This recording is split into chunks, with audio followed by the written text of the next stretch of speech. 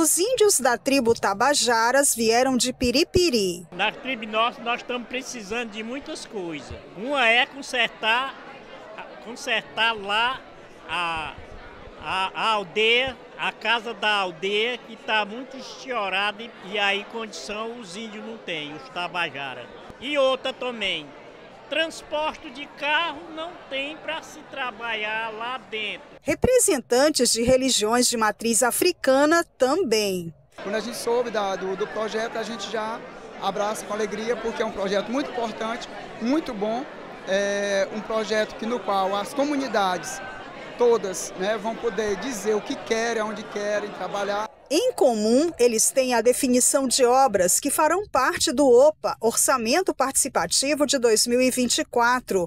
O projeto abre espaço para a participação direta da população na escolha de obras, onde e como os recursos devem ser utilizados. Este ano, a meta é destinar 65 milhões de reais. A partir de agora, no dia 26 de é, fevereiro até o dia 27 de março, as associações comunitárias das cidades de Teresina, Parnaíba, Picos, Floriano e Piripiri vão poder se cadastrar, indicar as três obras prioritárias que eles querem ver votadas. No dia 4 de junho, nós vamos publicar as obras que foram consideradas tecnicamente viáveis, né, a partir da análise de cada uma das nossas secretarias, e a população vai escolher entre essas propostas, né, é, é, conduzidas por cada uma das associações, entre os dias 7 e 17 de junho. Uma das grandes novidades de 2024 é a inclusão de três novas cidades no orçamento participativo, além de Teresina e Parnaíba, Picos, Floriano e Piripiri, agora já podem apresentar as propostas.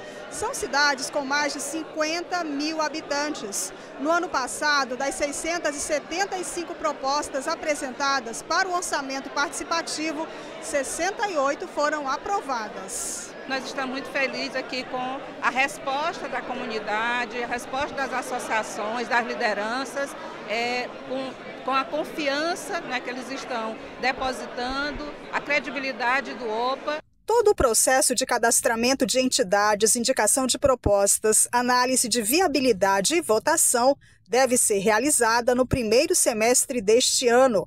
Vão ser 40 milhões para Teresina, 10 milhões para Parnaíba e 5 milhões para Picos, Floriano e Piripiri. O OPA é o maior e melhor programa de participação popular efetiva na decisão do orçamento que nós temos conhecimento no Brasil, tanto que foi premiado nacionalmente.